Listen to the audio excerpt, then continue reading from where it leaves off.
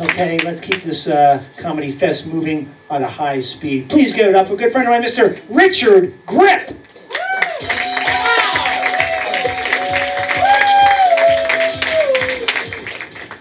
Actually, I'm not a Buddhist at all. I can tell you, I can't follow that.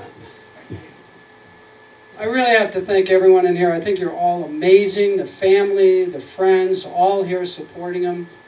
I think you actually should get an applause. Come on, guys, give yourself an applause. They're amazing. Family, especially. I have an amazing family. In fact, coming over here today, riding with my wife, she looked over at me she goes, honey, are you nervous? No, not really. Well, you should be. You're not funny. You've got many talents, but comedy isn't one of them. I actually started, when I started telling jokes in this workshop, I called my brother, who's a comic himself. I go, brother, Michael, I want you to listen to a couple of my jokes. I'm going to give you my best. So I rattled them off.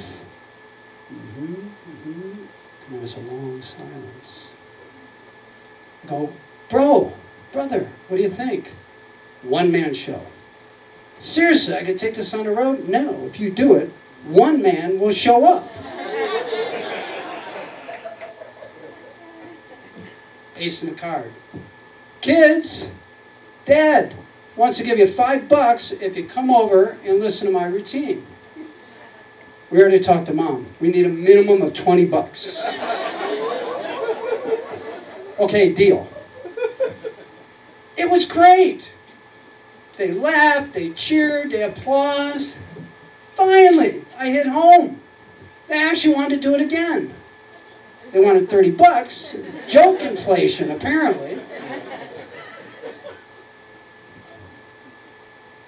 My wife and I recently watched a very interesting movie, Fifty Shades of Grey. We thought it was about seniors. Well, what we did find out, there's something called safe words. Well, let's use safe words. When things get out of hand, for example, when we first started dating, went on a ride, I ran out of gas. For years, she reminded me, remember the first time we went out, you ran out of gas? Make sure you fill up the can, the, the gas cover, the gas. You don't want to run out of gas. It went on and on. So we made an agreement, we would come up with a safe word. That if we do something dumb, we could use the safe word. And our word was, now who's the dumbass? Honey, I can't find my wallet. Oh, it's in your pants. It was going to be washed. Now who's the dumbass? Honey, I'm looking for the keys. Where's the keys? You left them in the front door. Now who's the dumbass? Sweetie, I can't find my sunglasses. Oh, wait a minute. I left them in the side pocket of my purse.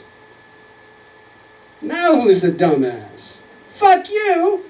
Apparently, you can add to your safe words. I'm a teacher. All right, to all the teachers out there. Yay! Isn't it great to be back in class? It, it's been amazing. I remember my first class I was back, the sun actually shined and came into the classroom. It was beautiful. It was enlightening. It was almost spiritual. And when it was all over, I started reviewing my evaluations. One question caught my interest. It was, what is the most outstanding characteristics of your instructor? One of the responses was, the way the sun shines off his head in the morning.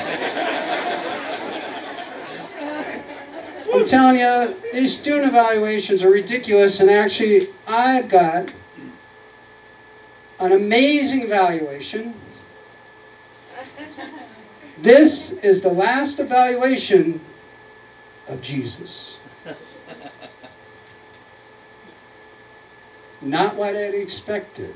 They say his area of specialty is carpentry, but we never built anything. I asked him to sign my accommodations form from the Disability Services Office. He spit on the ground and rubbed the dirt in my eyes. I can see now, but it was still rude. Doesn't respect students' time. A line of us had been waiting outside his office for over an hour.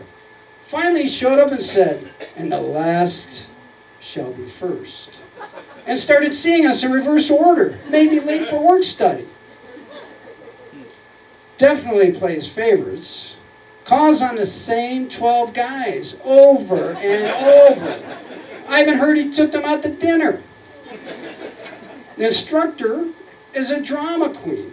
He stopped in the middle of a lecture to announce, One of you will betray me. Right after I told him I was switching advisors. He's inaccessible. He told me he'd be in his office. I walked all the way there, and the door was off the hinge, and he was gone. A complete joke. The only reason he got the job because his dad is important. I'm telling you, student evaluations, not very good. Not very good.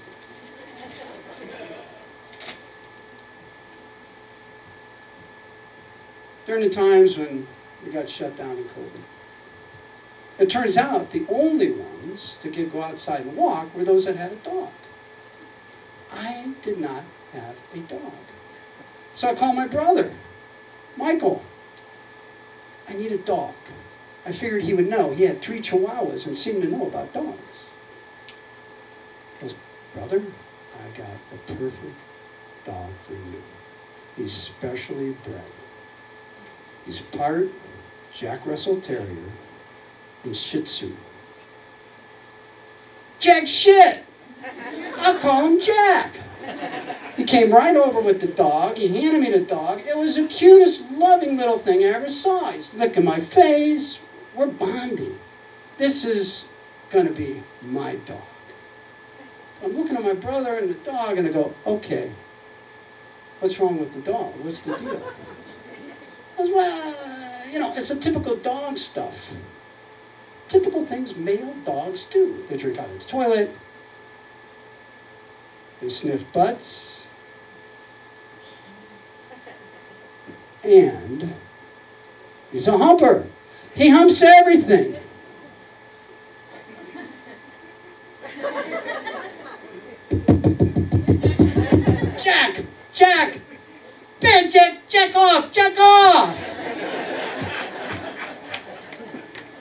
I go, what am I going to do with this dog? He goes, you know, just spray it. Spray it with water. Just spray it with water. My pant legs were wet for three weeks.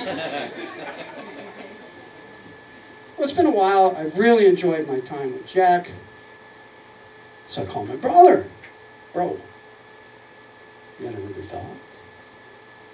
Because I do, especially bred. This is a perfect dog for you. He's 50% bulldog, 50% shih tzu, 100% bullshit. I call him bull. Thank you, everybody.